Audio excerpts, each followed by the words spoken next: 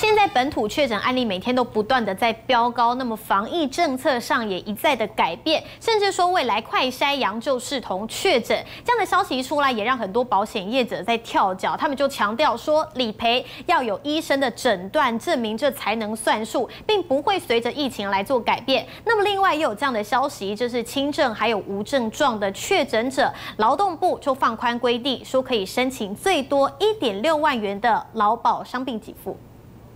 防疫照顾要给薪，防疫照顾要给薪。劳工团体跳出来控诉，现在有不少人自己或是同住者、同事确诊，导致被隔离，但跟公司请照护假却没有薪水，让他们直呼不合理。以目前来讲，这个防疫照顾假仍然是无薪的，家庭照顾假也是无薪的，而且还有天数限制，显然无法应对现在台湾疫情。但对公司来说也不太可能支付全薪。不过现在有了好消息，劳动部放宽规定，因为轻症或是无症状确诊者，依规定至少隔离十天，不能工作的第四天就能申请劳保伤病给付。以目前最高的投保集聚来算的话，十天的居家照护可领到七天的普通伤病给付，最高可以有五千多块钱。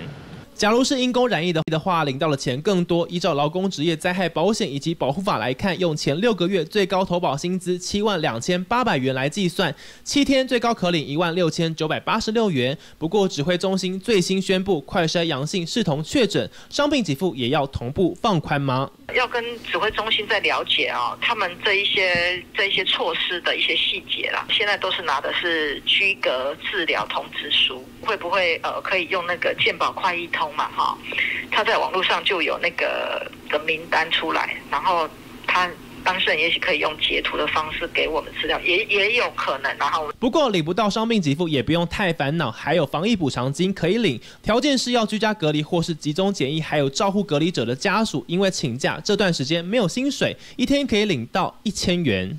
很紧啊！说真的，如果你是住防疫旅馆的话，那根本没有办法 cover 那些钱啊。多多少少啦，总比没有好，我觉得啦。对啊，但有的人一天可能薪资这样是 OK 的。只不过快筛阳性是同确诊，防疫保单到底能不能赔？产险公司强调还在研议当中。不过产险业者话说得很明白，一律只认医生诊断证明才会理赔，不可能拿到快筛结果就能领到保费。东森台新闻陈瑶宏、林浩宇台北报道。看不中断，赶快来按赞！